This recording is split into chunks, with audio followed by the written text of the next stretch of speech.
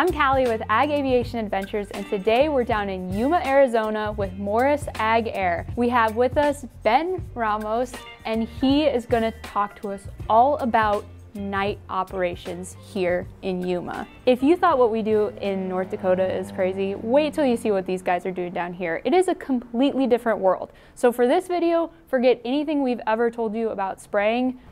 We're showing you something different. First things first, we're so grateful for this opportunity to come down here and check this out. Tell us a little bit about Morris Ag Air and the history of the company that you work for here in the Yuma Valley. Sure can. So we've uh, we've been in business for 19 years now. I've been working here for five years.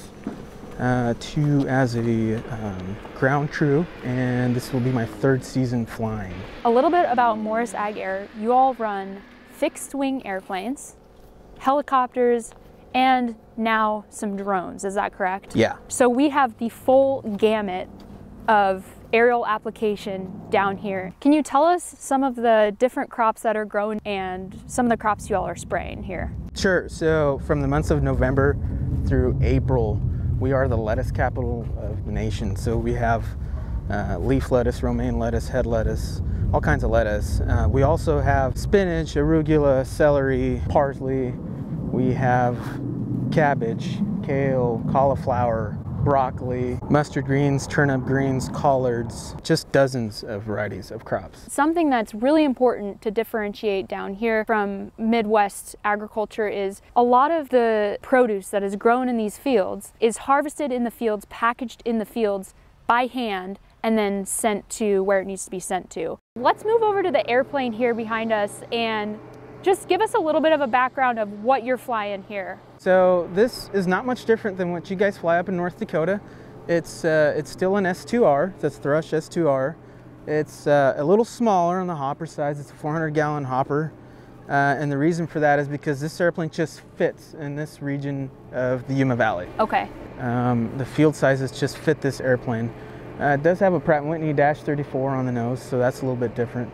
And when we when we first rolled in yesterday, Tyson was saying like they're they've got to have all this equipment to be able to do the night spraying, and it's it must be so sophisticated. And and honestly, you just have a bunch of lights, and that's what you're using Right. out there. So can you show us the lights on the airplane that Sure. are what you use to be able to see at night? Sure, so we have a total of seven lights. We have two obstacle lights, three work lights, and then two turn lights on either side of the wings. My favorite part of the night, I think, was when you guys were on the load pad and you got loaded, you were ready to take off, and then you click those lights on, and it's just like it lights up the world, and then you take off right away. Walk us through how you're using these lights in the field. So when I'm spraying, I'm running all I'm running all of my lights on all the time, except for the turn lights. Those are on a Chinaman's hat on the uh, stick, Okay. and those I only use them in the turns to see things that I really need to see Down in the field. down in the field. It's more of a spotlight feature Okay. on the wingtip that I can use. Okay. The reason I don't have all LED lights, if you can see those are lamps and these are LEDs, is if we ran all LEDs, we'd kind of be shooting ourselves in the foot sometimes because the visibility around here uh, gets bad. And if you had all LED lights on these airplanes, it would be a complete whiteout situation Okay. almost all the time and it'd be real bad. So that's why we run the older style B17 lamps. Landing Okay. lights is what they are. And so the main difference between Tyson's airplane and this airplane, basically the lights, and and that's it. You, Everything else is the same. And you have, I guess your instruments are all lit in the cockpit with a red light. Yeah. But other than that, it's pretty simple. And that is something that we were absolutely just blown away by because we figured there has to be something more, but it's really just lighting. But there's also another key aspect to something that you guys do down here that we don't do, and that's having a spotter on the ground. So, can you tell us a little bit about your spotter and the importance of what they're doing and how they're helping you stay safe and, and stay successful out there? Absolutely. So uh, a spotter is, is key to succeeding out here. They are our first set of eyes on a field. They're extremely important. The flying around here is super technical, and they really are the tip of the spear when it comes to flying ag at night out here. So they go out in a pickup Okay. with their set of maps in order the way we're going to do them for the night. And they go out and check the fields and they'll radio it in. They're checking for people, obstacles. Uh, Cross contamination is a big one around here with all the varieties that we have. So they are all pretty much trained to watch for what we watch for in the airplanes, you know. Right. But they are mainly there for our safety. Let's get down to the nitty gritty and talk about why you're out there at night. We have the fact that there are hundreds of people out working in the fields during the day and at night. What are some other reasons why you guys go out there at night? So I feel like I should give you some history on that. So uh, night flying in the Yuma Valley started back when cotton was king around here. So cotton is a summer crop. So it's hot in Yuma. It's 120 degrees and 100 degrees at night.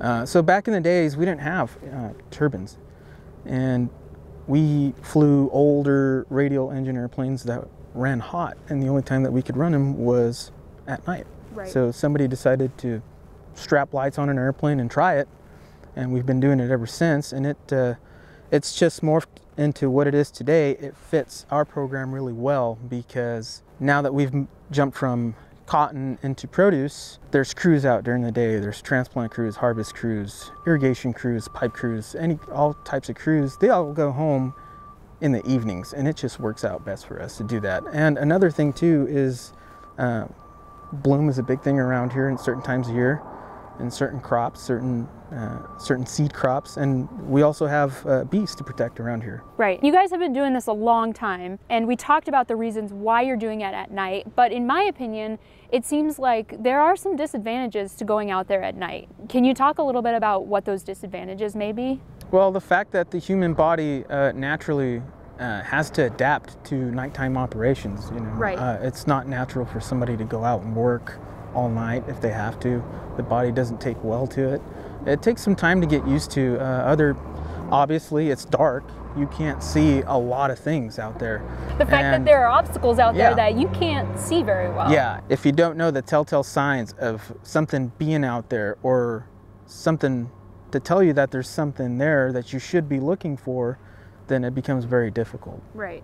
I don't know, maybe I'm biased. I feel like this is this industry is is not a safe one to be in and I, I do feel like there's added risks at night. Is that is that true? Does do you feel that there are added risks spraying out there at night? Absolutely. Just for your safety alone? Yeah, absolutely. Yes. Tell us about your your typical schedule in a day. So usually we'll show up around the office around two, three o'clock in the afternoon, and we will see what kind of work we have. Paperwork comes in the email. They print us out our work orders. Around five o'clock, we start to give paperwork out, sort chemicals, send spotters out to the fields, do all of that stuff.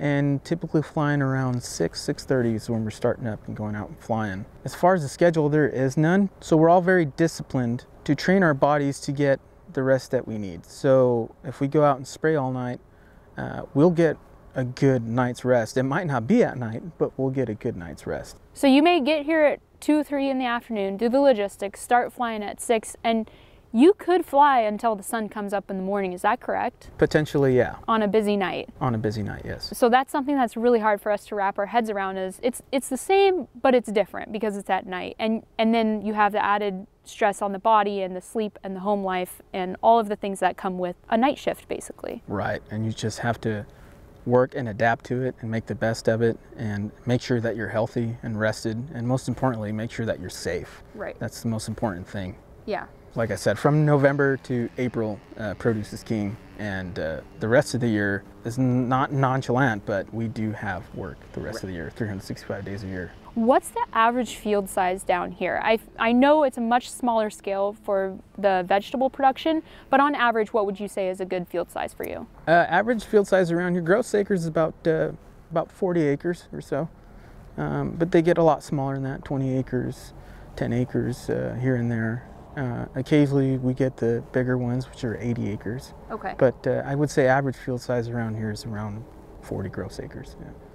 That's a pretty small field. But not only is, is that a small field, what gallons per acre are you running on most of these crops? So it depends on the time of the season. Uh, usually we'll start off around the five and seven range when stuff is small coming out of the ground, and once it starts to close up, uh, we'll do uh, north of 10 gallons to the acre, average 10 gallons, and then uh, the helicopter will fly 15, 20 gallon work. It was hard enough for us to wrap our heads around the average field size of 40 acres, but then to add on the 10 gallons per acre, our airplanes aren't even set up to do that. Yeah, so at the end of the day, what it comes down to is whether 5, 10, 15, or 20 gallon work is, uh, it just comes down to dollars per hour and just uh, you have to charge accordingly. Right.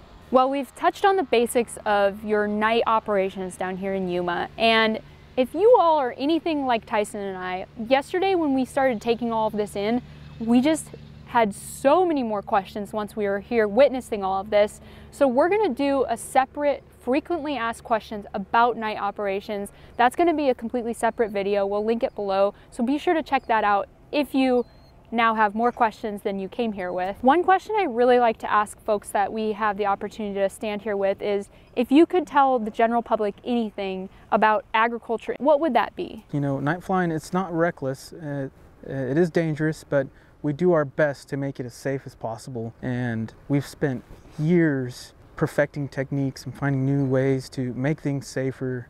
And we will continue to do that forever. Another thing I'd like to add too is uh, just uh, just eat your veggies because Yuma works really really hard to get a head of lettuce to uh, to a dining table in New York. I mean we it takes it takes all of us to make it happen from the irrigators to the ag pilots to the people cutting the lettuce to the growers to it just it's a big science and it takes a lot to put a head of lettuce on someone's dining table.